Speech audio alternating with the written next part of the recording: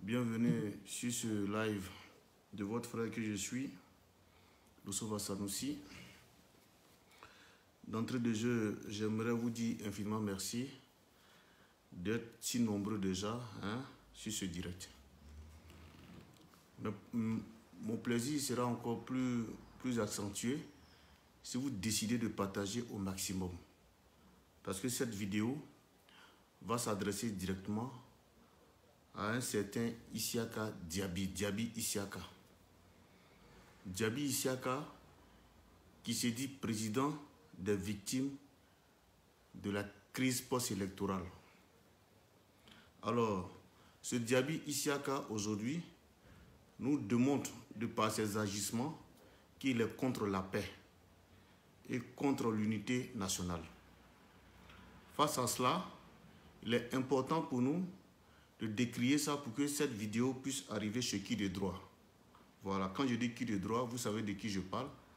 Je parle des tenants du pouvoir ivoirien, ceux qui tiennent le pouvoir ivoirien.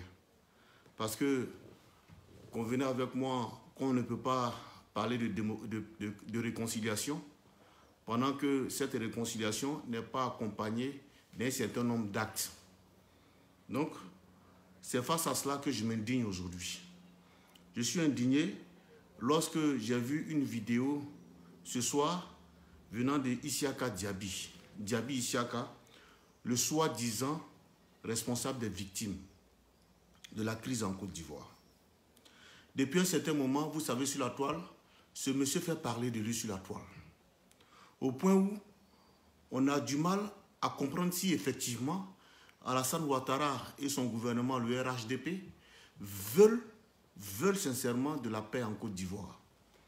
Parce que, comme j'ai l'habitude de dire, tu ne peux pas... Deux, deux, animaux ne peuvent pas s'accoupler et le résultat, le résultat sera un humain. Ce n'est pas possible. C'est comme deux chiens ne peuvent pas s'accoupler et le résultat sera un magouya. Là, ce n'est pas possible. Quand on parle de paix, quand on parle de réconciliation nationale, il y a des actes qui accompagnent ça. Et nous voyons un certain Isiaka Diaby en Côte d'Ivoire. Malgré tout ce que les Ivoiriens ont vécu, plus de 30 ans que dure la, crise ivoirienne, Isiaka Diaby a trouvé le malin plaisir, pendant que les Ivoiriens pleurent, pendant que les Ivoiriens veulent la paix, veulent la réconciliation, c'est devenu une, on appelle, une monnaie d'échange pour Isiaka. Isiaka Diaby prend la réconciliation de la Côte d'Ivoire, de tous les fils de la Côte d'Ivoire. Isiaka est en train de monnayer la réconciliation nationale en Côte d'Ivoire. Parce que lui, tout simplement, en retour, en contrepartie, on lui verse des restours. Je suis indigné face à cela. Je ne suis pas d'accord. Ça m'intrigue. Au point où je me demande, est-ce que le RHDP, pour ne pas dire le président Alassane Ouattara, au courant des agissements du sieur Isiaka Diaby. C'est de ça aussi nous parlons. Parce qu'il ne suffit pas de dire, de prononcer le mot paix dans la bouche. Mais la paix, là, c'est accompagné d'actes. Voilà pourquoi, d'une manière succincte, Oufé Boigny, le père de la nation, nous disait la paix n'est pas un vain mot, mais c'est un comportement. Oui, la paix n'est pas un vain mot, mais un comportement. C'est-à-dire quand on parle de paix, ça doit être suivi de comportement. Mais le comportement d'Isiaka Diaby nous montre que c'est quelqu'un qui est contre la paix. Voilà pourquoi je me demande, est-ce que le RHDP d'Alassane Ouattara, le président, le président Alassane Ouattara, parce que là je ne parle pas du parti, je m'adresse à lui en tant que président de tous les Ivoiriens, dont je suppose que c'est lui qui est le premier responsable, c'est celui-là même qui veut d'abord la paix que tout le monde. Est-ce que le président Alassane Ouattara est au courant des agissements du sieur Isiaka Diaby? Parce que je ne peux pas comprendre. Le président Laurent Gbagbo, comme j'ai pour habitude de dire, qui a fait 10 ans en prison et qui, cherche à revenir dans son pays, malgré tous les efforts que, font les uns et les autres, mais Isiaka Diaby trouve le malin plaisir de convoyer des personnes pour aller accueillir le président Laurent Gbagbo selon eux. Ça rime à quoi? Est-ce que quand Alassane Ouattara venait en Côte d'Ivoire, quand Gbagbo était au pouvoir, quand il rentrait là, Gbagbo Laurent envoyé des gens, Gbagbo Laurent envoyé ses partisans pour aller, pour, aller accueillir Alassane Ouattara? Mais l'histoire de la Côte d'Ivoire date de, quand comme ça? Pourquoi on oublie tout ce qui s'est passé? L'histoire de la Côte d'Ivoire, ça date de quand? Pourquoi on oublie tout ce qui s'est passé? Les jeunes patriotes pouvaient aller à l'aéroport Félix Soufat-Boigny, aller demander à Ouattara de ne pas descendre, de ne pas sortir de l'aéroport. Mais non, ça n'a pas été fait. Parce que nous étions dans un élan de réconciliation. Nous étions dans un élan de réconciliation. On nous a laissé accueillir notre mentor. Mais en retour, voilà ce que Isiaka Diaby nous propose en Côte d'Ivoire. Voilà pourquoi j'interpelle Alassane Ouattara en tant que président de la République de Côte d'Ivoire. Je ne l'interpelle pas là en tant que président de parti politique, mais en tant que président de la République ivoirienne. Est-ce qu'il est au courant que Isiaka Diaby est en train de mettre en mal la réconciliation nationale? C'est de ça que nous parlons. Est-ce que le président Alassane Ouattara est au courant que le sieur Isiaka Diaby est en train de mettre en mal la réconciliation nationale? Parce que s'il est au courant, il va lui dire d'arrêter ce qu'il est en train de faire. Parce que pour l'instant, la Côte d'Ivoire n'en a pas besoin. La Côte d'Ivoire n'en a pas besoin. Pendant que Alassane Ouattara officiellement nous parle de paix, de réconciliation, alors que tout le monde sait qu'en Côte d'Ivoire aujourd'hui, la réconciliation nationale passe forcément, inéluctablement par la présence du président Laurent Gbagbo. Tout le monde le sait. C'est comme de la manière, cette même réconciliation passe aussi par la présence, hein, du président Alassane Ouattara et celle de Bédier. Pour pas dire aussi celle de Guillaume Soro. C'est de ça qu'on parle. Mais pendant que nous parlons de réconciliation nationale, il y a un monsieur à Abidjan qui passe tout son temps en train de, en de révéler hein, les vieilles blessures dans le cœur des Ivoiriens. Pendant que nous, là, on parle de réconciliation nationale. Il y a un monsieur à Bidjan là-bas qu'on appelle Isaka Ouattara. Isaka, euh, comment il s'appelle là? Isaka Diaby. Isaka Diaby. Qui est en train de révéler les vieilles blessures. Je vais vous montrer sa vidéo du jour. La vidéo qui me fait réagir. Je vais vous la montrer. Parce que ça ne saurait continuer. Et je ne pourrais l'accepter. Voilà. Écoutez-moi cette vidéo. Voilà ce qu'il est en train de faire.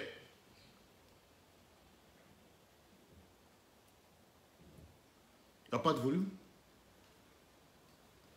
Voilà.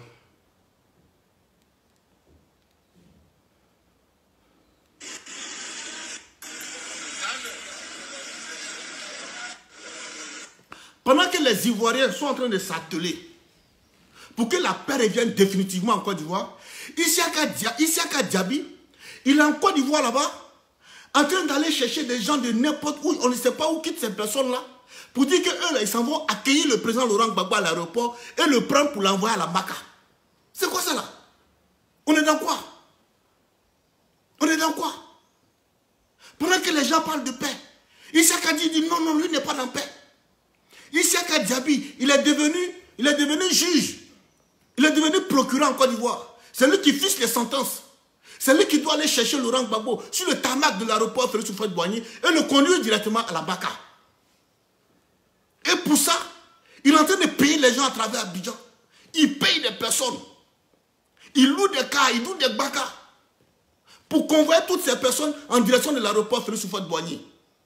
Voilà le travail qu'Isaac est en train de faire aujourd'hui à Abidjan. Voilà le travail qu'Isaac est en train de faire aujourd'hui à Abidjan. Et tout le monde est là. Personne ne parle. Regardez.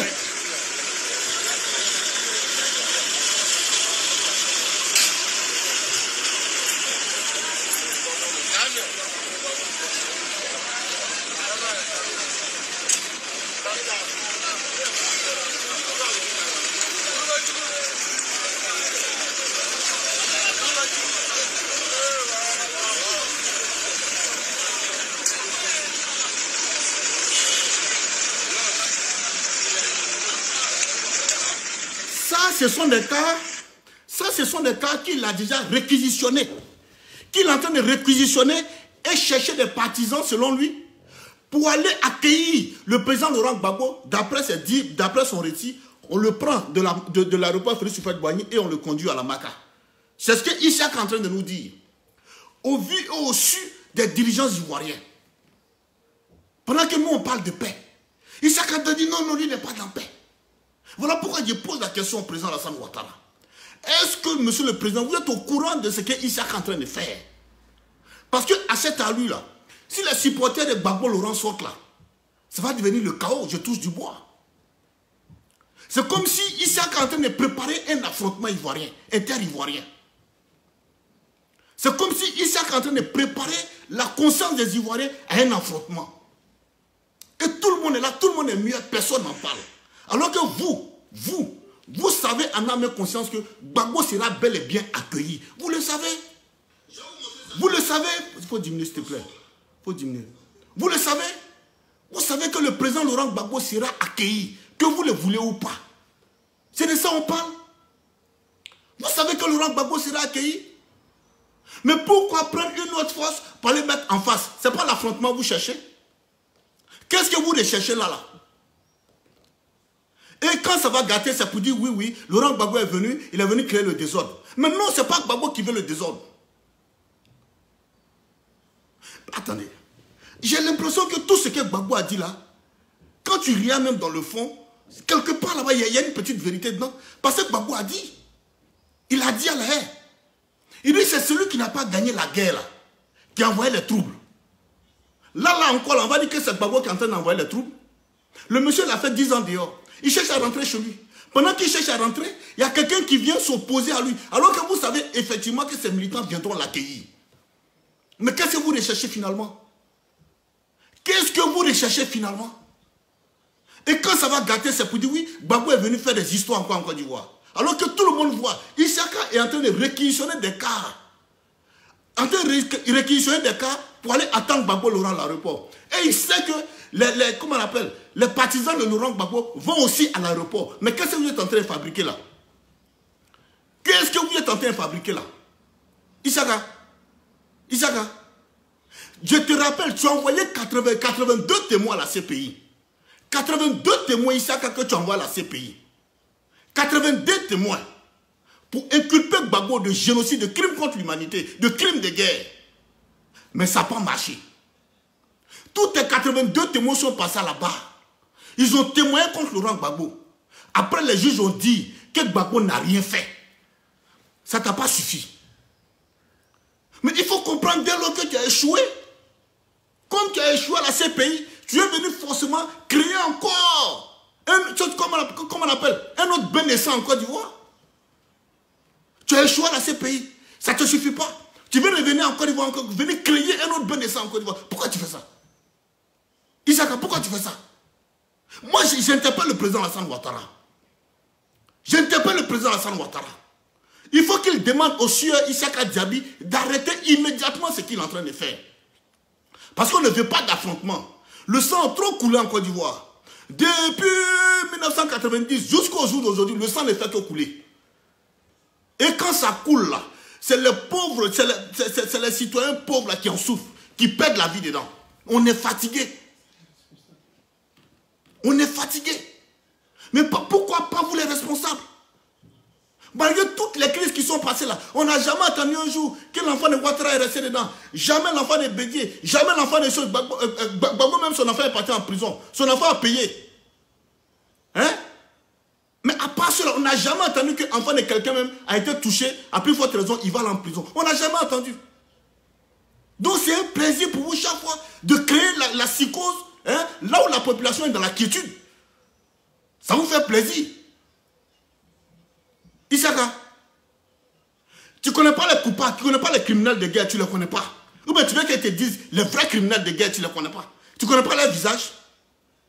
Je te rappelle, le président Laurent Gbagbo était président de la République de Côte d'Ivoire lorsqu'il y a une rébellion qui est rentrée en Côte d'Ivoire. Ça, c'est l'histoire de la Côte d'Ivoire, Issaka. Si tu veux que je te raconte l'histoire de la Côte d'Ivoire, je vais t'aider. Parce que j'ai l'impression que tu es bouché, tu comprends rien en rien. Gbagbo Laurent était président. Lorsqu'il y a une guerre qui est rentrée, une rébellion armée, qui est venue du Burkina Faso.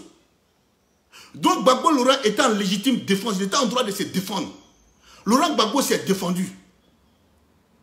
Et ceux qui ont dirigé cette rébellion-là, les chefs de guerre là, ils sont tous à Abidjan là-bas. Issaka, tu ne les connais pas. Imo tu ne connais pas. Les chefs de guerre qui étaient là-bas, et bébé Abidjan. Watao qui est mort. À part Watao, il y a Mourou là-bas. Il y a Vecho. Il y a Zakaria là-bas. Il y a Sheriff Ousmane. Ils sont là-bas. Ils sont là-bas. Les chefs de guerre de Bagbo Laurent là, eux là, ils ont combattu en tant que force loyaliste. Philippe Mango dit l'ambassadeur. Lui, il allait témoigner contre Laurent Gbagbo, dit l'ambassadeur. Kasrate Tchapé Edouard est décédé. Djabi Poué, je ne sais pas il est où. Les miliciens qui étaient à Bidjan là, qui répondaient aux, choses qu'on appelle, qui, qui, se met le bordel à, à Yopougon. Magui le Toka là, il est mort. On a pris plein de ces éléments. Vop Il y a quoi là-bas encore? Il n'y a rien. Pendant que toi tu cherches Bagbo Laurent, les chefs de guerre ils ne se cachent pas. Ils sont assis à Bidjan là-bas. Au Abidjan, Zakaria B. Zakaria B. Les chefs de guerre sont là-bas. Je crois que c'est à eux, tu dois les demander qu'est-ce qui se passe réellement? Ils vont te dire, Isaka, tu nous veux quoi même? Tu nous veux quoi? Tu nous veux quoi? Tu nous veux quoi? Tu nous veux quoi? Tu nous veux quoi? Isaka, tu nous veux quoi? Il faut venir me dire qu'est-ce que tu veux? Tu veux Est-ce que Alassane Ouattara est au courant de ce que tu es en train de faire là? Alassane Bakrama, Alassane Ouattara, je t'interpelle en tant que président de, président de la République de Côte d'Ivoire, président de tous les Ivoiriens, le premier garant de la paix en Côte d'Ivoire. Je ne t'interpelle pas en tant que président des partis politiques. Tu es le premier garant de la paix en Côte d'Ivoire. C'est à toi de mettre fin à ce, bordel-là.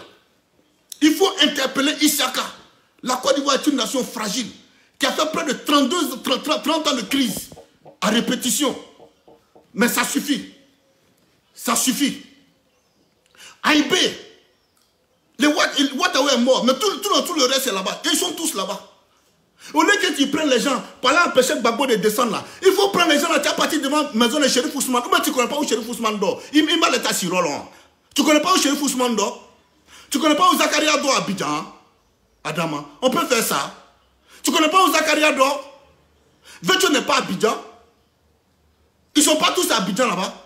Toi, tu ne sais pas que c'est ceux-là qui étaient les chefs de guerre. Tu ne sais pas.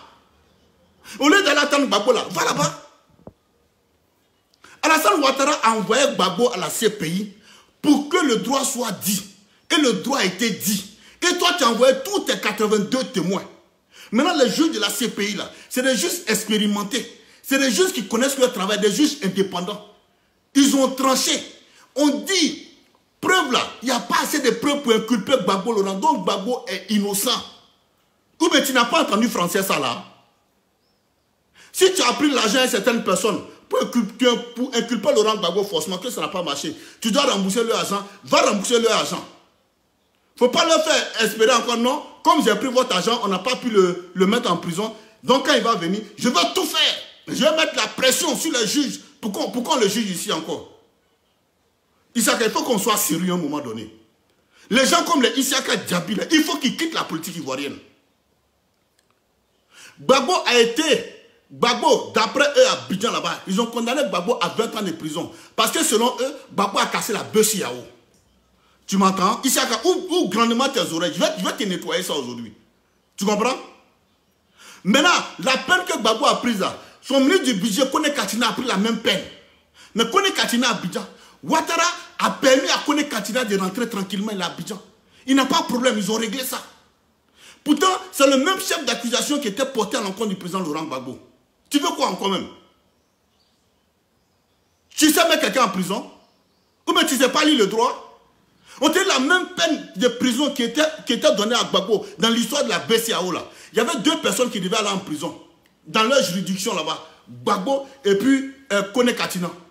Mais Kone Katina, c'est réglé. Pour Gbagbo est réglé. Maintenant toi tu vas chercher, toi tu vas accueillir Gbagbo là. Pourquoi? Tu es, tu, es militant de son parti. Tu fais partie du FPI. Vous ne voulez quoi à la fin Je vais vous montrer une vidéo. Pour dire que ce monsieur Diaby là, c'est un arriviste. C'est quelqu'un qui, qui court que pour sa pense, que pour sa gueule. Et moi, je ne roule pas comme ça. Il est temps que nous prenions conscience. Ça fait combien d'années nous... Prépare-moi la deuxième vidéo, s'il te plaît. Ça fait combien d'années nous vivons dans cette histoire Ça fait combien d'années que nous vivons dans cette histoire? On ne va pas rester définitivement. Il faut qu'on en sorte un jour. Il faut qu'on en sorte un jour. Toi-même, tu sais que les militants de Gbagbo vont partir accueillir Gbagbo. Ça, il ne faut même pas te fatiguer. Il ne faut même pas te fatiguer. Même si Gbagbo ne veut pas, ils vont partir. Et puis toi, tu es en train d'envoyer tes gens pour aller, pour, faire quoi? Là, là, s'il y a affrontement, là, qui a cherché? Donne-moi la deuxième vidéo, s'il te plaît. Pour dire que ce monsieur-là, c'est un arriviste, c'est un arriviste politique. C'est quelqu'un qui ne sait même pas de quoi il parle. Voilà, en réalité, il n'a jamais été le président des victimes de la guerre. Voilà une dame ici. Voilà.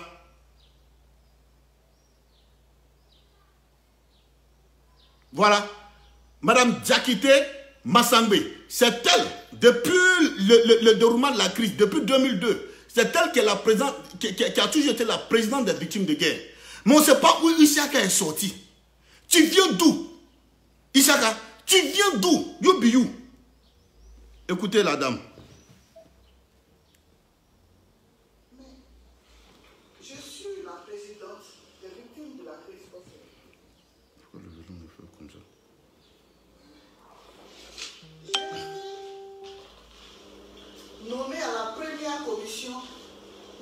D'enquête en 2011, où tout était difficile, où personne ne pouvait même, les gens avaient peur de témoigner. Je suis allé jusqu'à jusqu'à Dieu pour faire des enquêtes sur la situation. Nous avons travaillé. Après, après, après, la CDR est venue. L'État fait des efforts, mais il faut reconnaître ses efforts. Nous, on reconnaît ses efforts. Mais le fait qu'aujourd'hui, Siaka vienne tout remettre en cause, vraiment, je ne suis pas contente de ça. Il n'a pas à faire ça. Parce que l'État a fait ce qu'il fallait. L'État a fait quelque chose. Peut-être qu'ensemble, si on était unis, on a réussi à, avoir. Isaka, la dame qui parle là, c'est elle, la présidente des victimes.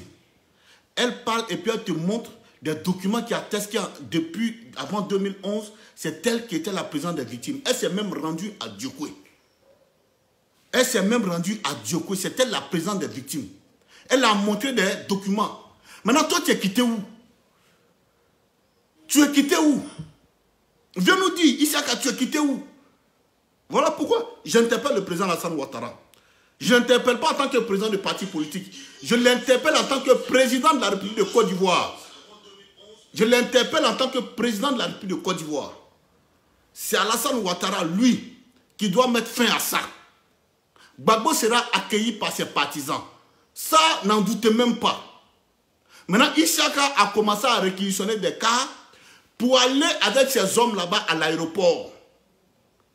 S'il y a quelque chose, Issaka sera tenu pour responsable. Parce qu'à ce qu'il sache, Issaka n'est pas juge en Côte d'Ivoire. Il ne fait pas partie de la magistrature en Côte d'Ivoire. Voilà un peu. Donc, allez-y dire au sieur Issaka Diaby que nous, les Ivoiriens, là, nous sommes fatigués. On est fatigués de toutes ces crises à répétition, là. On est fatigués. On veut que ça cesse. On veut que ça cesse. Si lui, Issaka Diaby, il se sent plus à l'aise dedans, qu'il continue. Mais nous, on est fatigués. On veut que tout ça, là, ça cesse. Tous les enfants ivoiriens n'ont qu'à rentrer en Côte d'Ivoire, dans la même patrie. Et puis on va faire la politique autrement. Pourquoi ne pas faire la politique autrement? Pourquoi ne pas faire la politique autrement? Est-ce que, que nous sommes obligés Est-ce que nous sommes obligés comme ça de nous créer des problèmes comme ça? Ou de nous faire détester comme ça? Pourquoi ne pas apprécier la chose politique autrement? Il y a combien de partis politiques en Côte d'Ivoire Hein On va aux élections clair, clair, celui qui gagne, on lui donne. Est-ce que ça là, on a besoin, on a besoin de faire tout ce cinéma là Aïe. Là où tu pouvais arrêter Gbagbo à la CPI, tu ne l'as pas arrêté. Hein? C'est quand il va rentrer chez lui maintenant que tu vas, tu vas l'arrêter. Ici, tu ne pourras pas. Ce qui me fait mal, pourquoi je parle Parce que si tes gens vont là-bas, que les partisans de Gbagbo sont là-bas, là, ça va devenir palable. Et c'est ce que moi, Dosso, j'évite. Je ne veux pas de ça. Parce que quand nous, on partait accueillir Alassane Ouattara, là, Gbagbo n'a pas fait sortir ses partisans pour, pour comment on appelle, pour, euh, pour aller nous trouver là-bas, à l'accueil. Il n'a pas fait. Bien au contraire, lui-même, il a laissé bien les partis s'asseoir à Yam Tous ses partenaires étaient, étaient terrés ce jeu, chez eux, pardon. Donc, à notre tour, toi, tu ne vas, pas, toi, toi, vas pas faire sortir hein, tes amis là. Je ne sais même pas où, tu quittes tes personnes là même. Quand on va l'accueillir, tu es, tu es militant FPI. Mais s'il y a débordement, s'il y a palabre, s'il y a mort d'homme, Issaka, tu seras tenu pour responsable. C'est ce que j'avais à dire. Sur ce, je vous dis infiniment merci. Passez une très bonne soirée. C'était Dosso Vassanusi. La dernière fois, j'avais promis que je ne parlerais pas, effectivement. Mais je ne pouvais pas. Quand j'ai vu le pote d'Issaka Diaby, je ne pouvais pas. Sinon, je suis en repos, je suis en Suisse, mais je ne pouvais pas. Il fallait que je sorte vraiment pour donner mon point de vue. Parce que c'est un, un fait majeur. Voilà, c'est un fait majeur. Il fallait que je sorte pour donner hein, mon analyse de la situation. Donc, j'avais promis que je n'allais pas faire des vidéos pendant une semaine parce que je suis au repos, mais je ne pouvais pas. Parce que c'était trop flagrant. Il fallait que je donne mon point de vue. Allez, passez une excellente soirée. Vous avez toute la salutation de Dosso Vassanossi depuis la Suisse. Et je vous aime, je vous, je vous adore. Allez, ciao, bye.